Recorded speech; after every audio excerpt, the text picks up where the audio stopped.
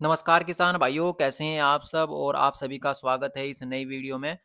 किसान भाइयों, आज की जो वीडियो है, वह स्प्रे गन के बारे में होने वाली है, क्योंकि इस पर हमने एक इसकी शॉर्ट वीडियो डाल ली थी तो वह काफ़ी वायरल गई है और इस पर अच्छे खासे कमेंट भी आए हैं। ज़्यादातर जो कमेंट है, वो सभी ने यही पूछा कि आपने इसे कैसे बनवाया है?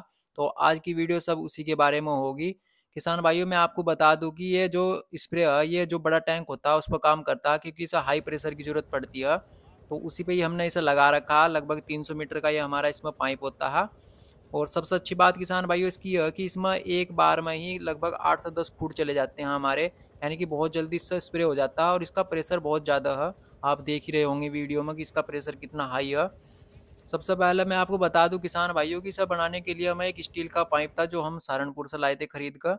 और इसमें जो हमने आगे स्प्रे लगाया वो हमारा पुराना स्प्रे है जो हम जिससे पहले नॉर्मली हम करते थे तो वही हमने इसमें आगे लगाया और इसे गैस वेल्डिंग से जुड़वा दिया। तो लगभग इसमें हमारा अगर सारा जोड़ा इसमें स्प्रे वगैरह का भी तो लगभग हमारा इसमें पंद्रह सौ रुपये का खर्चा आया इसे बनवाने के लिए, तैयार करने के लिए पूरी तरह से। और पाइप वगैरह सब हमारे इसमें पहले से ही था, बस स्टील का जो पाइप इसमें लगा हुआ वो हमने आगे वो लाए हम खरीद के इसे सहारनपुर से। और काफ़ी हैवी पाइप है वो, क्योंकि इसमें प्रेशर में फटता नहीं अगर आप लोहे वगैरह का पाइप यूज़ करेंगे तो वो फट जाता है प्रेशर में।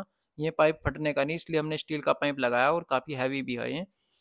तो किसान भाइयों, अगर आप भी इसे बनवाना चाह रहे हैं तो आप हमारे वीडियो में कमेंट कर सकते हैं, हम इसकी आपको फ़ोटो वगैरह और भी भेज सकते हैं।